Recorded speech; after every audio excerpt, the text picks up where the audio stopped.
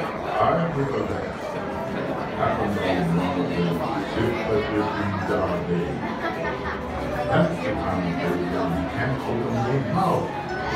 Uh, popping right out.